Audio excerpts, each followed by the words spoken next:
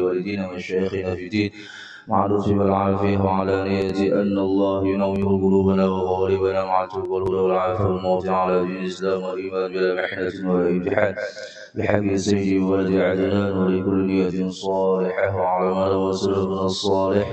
وعلى ما روى به شيخنا الحبيب مروي محمد بن حافظ إلى حضرة النبي وآل النبي. بسر أسرار سورة الفاتحة. بسم الله الرحمن الرحيم الحمد لله رب العالمين الرحمن الرحيم. مالك يوم الدين؟ إياك نعبد وإياك نستعين. اهدنا الصراط المستقيم. صراط الذين أنعمت عليهم غير المغضوب عليهم ولا الضالين. آمين. السلام عليكم ورحمة الله وبركاته. الحمد لله الحمد لله على إحسانه.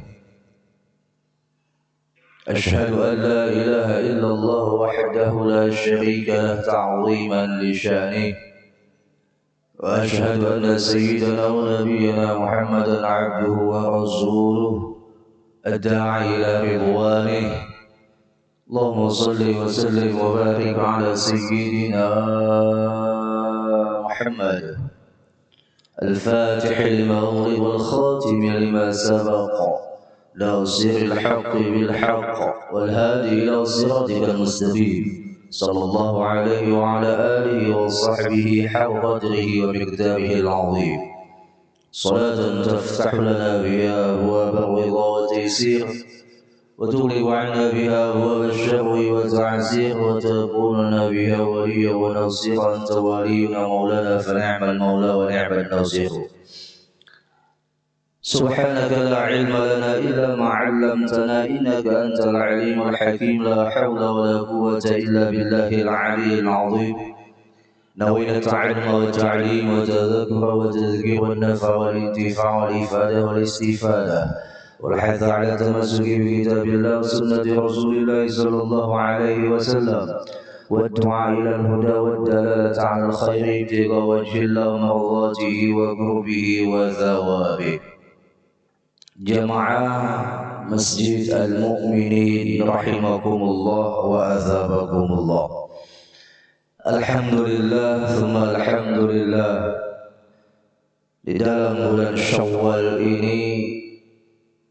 kita masih diberikan oleh Allah kesempatan dan sisa kehidupan. Untuk memenuhi tanggung jawab kehambaan kita kepadanya dengan melaksanakan ketaatan yang tadinya telah dianugerahkan olehnya taufik hidayah untuk kita bersama-sama melaksanakan sholat subuh berjamaah Dilanjutkan dengan niat i'tikaf menunggu terbitnya sang mentari pagi sambil mengambil dan menerima daripada warisan Nabi Muhammad sallallahu alaihi wasallam yaitu ilmu agama yang juga merupakan kewajiban bagi kita untuk memperdapatinya. Maka dengan sebab demikian kita berdoa kepada Allah mudah-mudahan Allah ampuni dosa-dosa kita dosa kedua ibu bapa kita, dosa keluarga kita, dosa sahabat kita dan siapa pun yang mencintai kita ataupun yang membenci kita sekalipun mudah-mudahan Allah ampuni dosa-dosa mereka. Amin Allahumma amin.